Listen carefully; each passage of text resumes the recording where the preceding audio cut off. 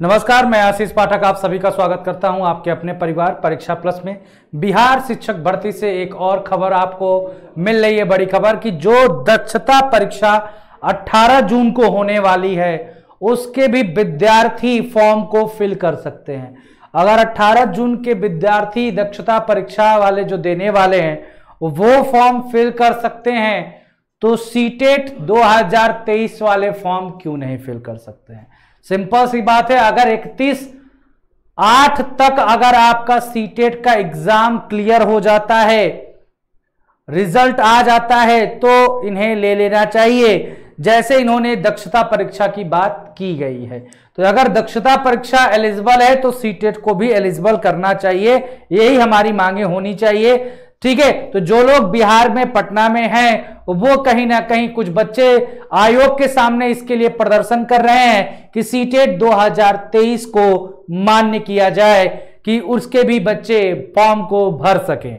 आप बात करते हैं कि क्या है ये दक्षता परीक्षा और ये पात्रता परीक्षा से किस प्रकार का भिन्न है इसमें? तो इस पर हम थोड़ा सा परिचर्चा आपसे करते हैं। अगर बात करें यहाँ पर तो दक्षता परीक्षा में शामिल होने वाले 11,500 शिक्षार्थी को भी जिला स्तरीय शिक्षक बनने का मौका मिलेगा।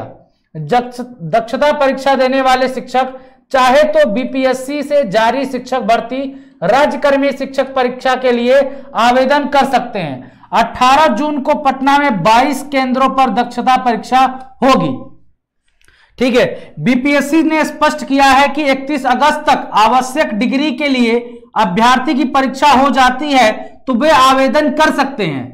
ज़ाहिर सी बात है, अगर यह कहा गया 31 अगस्त तक तो अगर सीटेट 2023 31 अगस्त तक हो जाता है, रिज़ल्ट आपका आ जाता है तो आप भी वैलिड हुए तो सीटेट वाले भी आप लोग जो देने वाले हो, वो भी फॉर्म ज़रूर भरना, ये कहीं ना कहीं मान्य हो सकता है।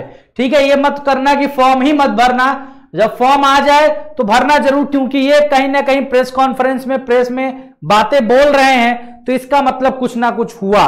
ठीक है, भलाई नोटिफिकेशन में नहीं क्लियरेंस है, लेकिन जो अखबारों में बातें आ रही हैं, उससे तो यही जो है नज़र आ रहा है। दरअसल दक्षता परीक्षा बीटेट या सीटेट के समकक्ष मानी गई है।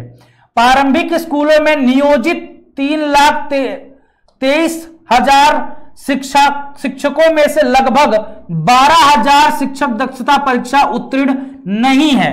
ठीक है, इनमें से बोला गया है 3.3 लाख में से आपके कि बारह हज़ार शिक्षक जो है, वो दक्षता परीक्षा को उत्तीर्ण नहीं किए हैं। ठीक है? बारह हज़ार।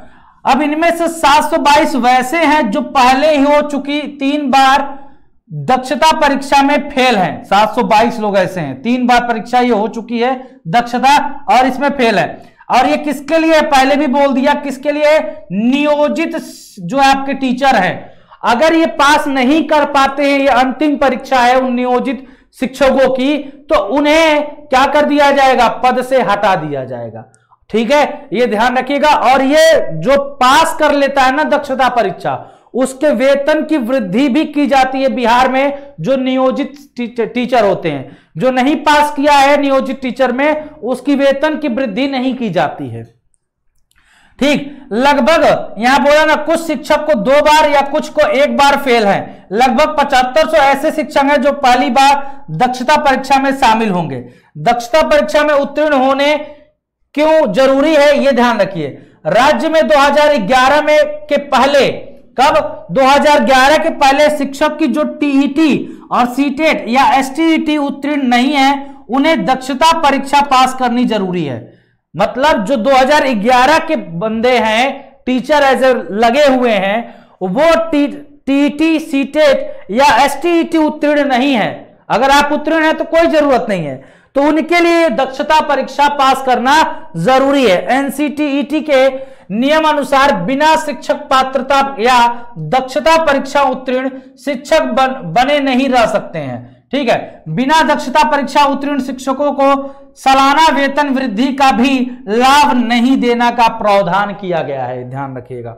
सौ अंकों की यह दक्षता परीक्षा होती है कितने की? सौ अंक की। एनसीआरटी के माध्यम से एनसीआरटी ने एससीआरटी के माध्यम से दक्षता परीक्षा सौ अंकों की होगी। इसमें लगभग 70 प्रतिशत प्रश्न विषय वस्तु से होंगे और 20 प्रतिशत शिक्षण कौशल से होंगे। मतलब सीडीपी किसे होगा? से संबंधित होंगे, जबकि 10 प्रतिशत अभिरुचि से होगा मतलब रीजनिंग होगा। अधिकांश प्रश्न कक्षा आठ तक के पाठ्यक्रम से होंगे। हल्की कुछ प्रश्न माध्यमिक स्तर के होंगे। दक्षता परीक्षा के पास करने के लिए सामान्य वर्ग के लिए 45 प्रतिशत और आरक्षित कोटि के लिए 40 प्रतिशत न्यूनतम अंक प्राप्त करना ज़रूरी है। अब तक ये दक्षता परीक्षा आपकी 15 अक्टूबर 2009 में हुई थी 20 फरवरी 2011 को ही, और 19 अक्टूबर 2013 और 16 में हुई, और अब जाके 2023 को हो रही है 18 जून को। अगर हम इसकी बात करें थोड़ा सा नोटिफिकेशन का तो इसका नोटिफिकेशन कब आया था, वो मैं आपका गवर्नमेंट का मैं दिखा दे रहा हूँ। कि इसके जो नोटिफिकेशन थे आपके, यहाँ से आप लोग देख लीजिए, थोड़ा सा, कि नोटिफिकेशन इसका कब आया था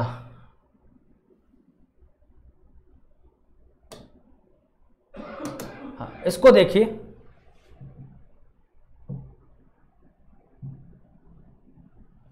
हम्म, फ़ाइल नहीं खुल रही है। दो तो मिनट।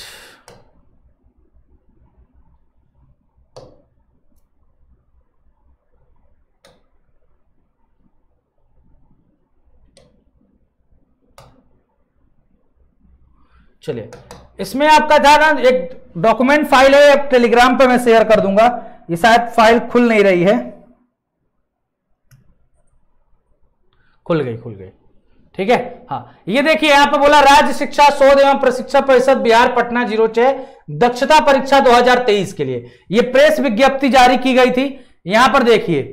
ठीक है? उसके बाद से यहाँ बोला गया था एप्लीकेशन फॉर्म इसका फरवरी में था 25 दो 2023 से 11 तीन तक था, मार्च में। और परीक्षा की तिथि थी 23 चार। तेईस अप्रैल शायद ये नहीं हुई अप्रैल में तो अब 18 जून को कराया जा रहा है। बोला बीटेट सीटेट उत्तीर्ण नियोजित शिक्षकों की इस परीक्षा में सम्मिलित होने की आवश्यकता नहीं है। जो या तो बीटेट पास हो या सीटेट पास हो तो ये परीक्षा देने की कोई ज़रूरत नहीं है।